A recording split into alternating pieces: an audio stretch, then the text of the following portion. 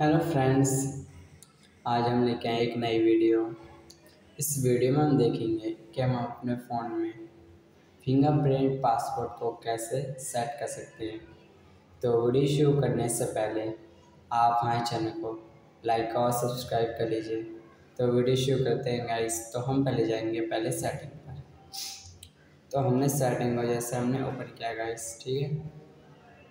जैसे हम यहाँ नीचे आएँगे पासवर्ड इसे हम ओपन करेंगे। जैसे हमारे यहाँ फिंगरप्रिंट पासवर्ड तो इसे हम करेंगे। तो आपका जो पासवर्ड पहले वो डालोगे। और यहाँ इसको